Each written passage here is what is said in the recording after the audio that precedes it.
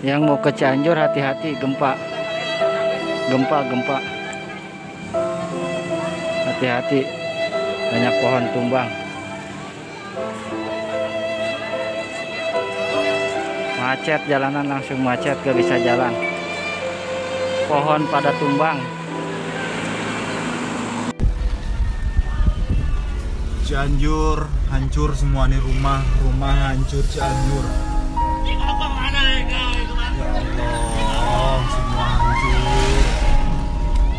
kita putar balik ini sampling Cianjur putar balik cari jalan alternatif karena eh, di jalan utama sudah tertutup longsor. Jadi kita putar mau nggak mau kita putar balik. Longsornya pun nggak jauh dari mata pandangan kita sendiri. Anjir.